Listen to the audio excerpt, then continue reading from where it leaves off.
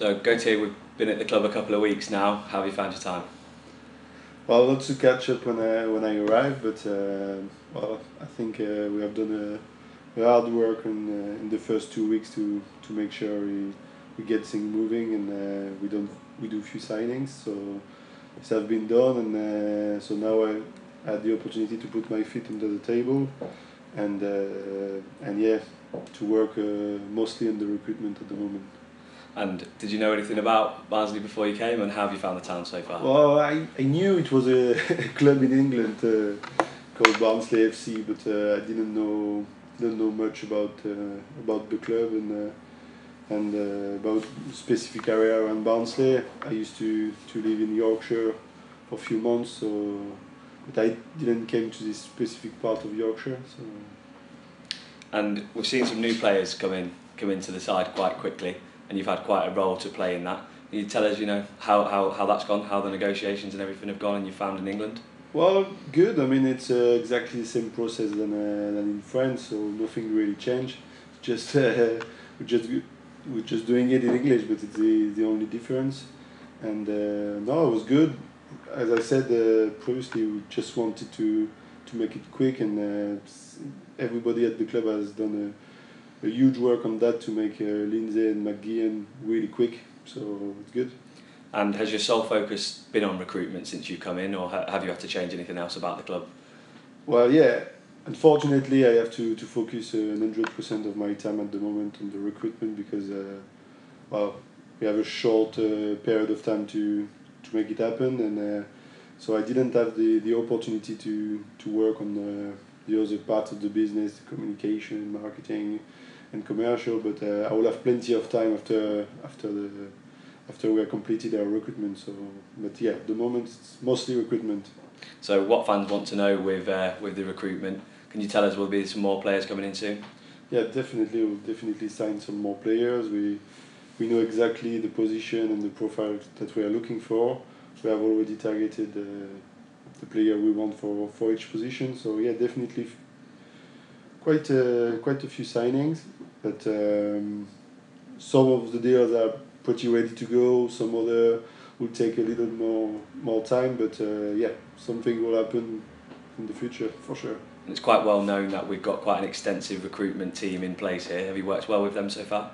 Yeah, really well. I mean, everybody everybody is playing his uh, his role in the in the recruitment process. I mean, Paul, of course, the scouting department, myself, and uh, and the people of the board also are, are really involved in this process. And uh, I think we we improved this process, and now we everybody knows what he has to do, and uh, we are quicker than two weeks ago. How's your work been with, with Paul? Has he has he told you what players he wanted and then you've just gone to look for them? Well, Paul obviously knows exactly the position he's looking for and the profile he's looking for. Then, scouting department is giving us few options for, for each position, and then uh, and then yeah, my job is to is to see what kind of deal is possible for, for those player we want, and uh, and obviously to to get clearance for the board for what is possible to do, what is not possible to do.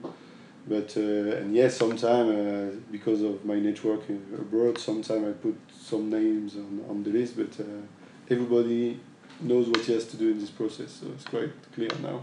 We haven't really looked abroad for many players over the last few years. Is that something we are going to start to look at now with your network? It's possible. I mean, we are looking at a UK player, international player. I mean, everything is possible now. I, I can't assure you that we will have a player coming from abroad. We have been looking at a few of them, and uh, I mean, Paul and, and me, we we don't uh, we don't judge a player or if he's coming from UK or coming from France or Belgium or anywhere. So we'll we'll take the best player we can and the player we can afford. So some of them could come from abroad, but maybe all of them will come from UK. We'll see. And we've got quite a young and exqua- exciting squad, haven't we? So is that the sort of are we looking for more of that type of player? Well, I mean the club has a has his own model. So the model of the club is obviously we can't really afford championship player with the experience of the championship. So what we are trying to achieve is buying and signing the best player in the lower league or from abroad, develop them, and then of course uh, increase the value.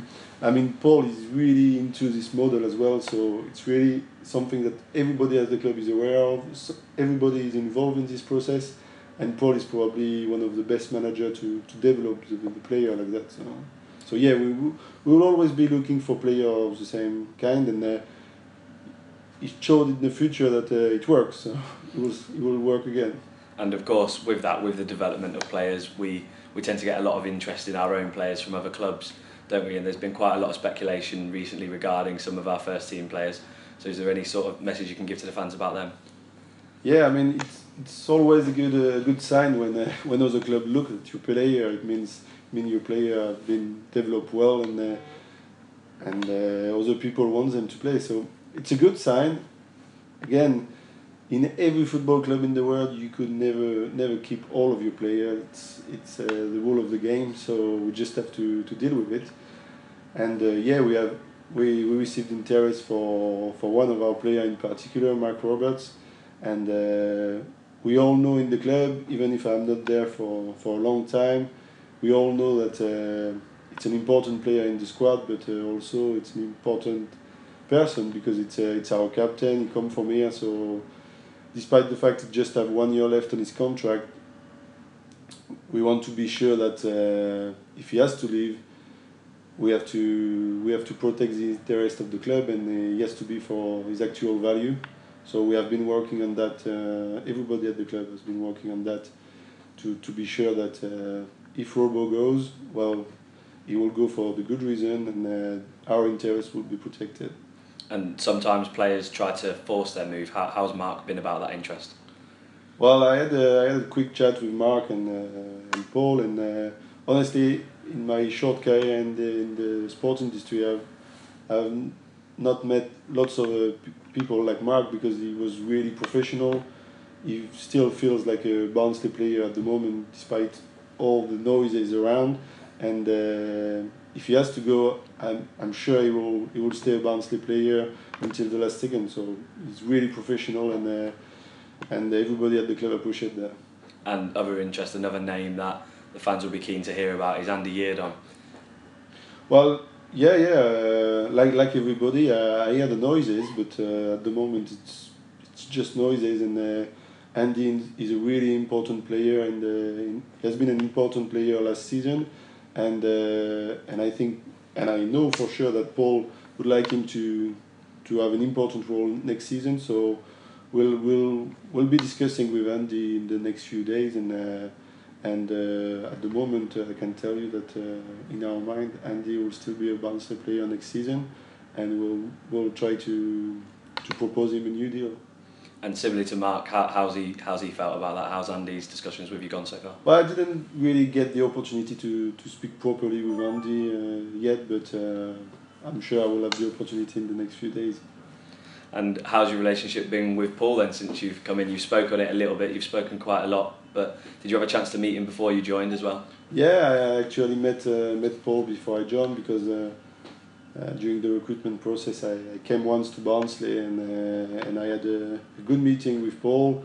I mean, uh, we we share lots of uh, value, I think, and uh, and it was it was good to meet him before coming here. And since I'm here, yeah, we we spoke to the phone. We speak to the phone all the time. We exchange on everything.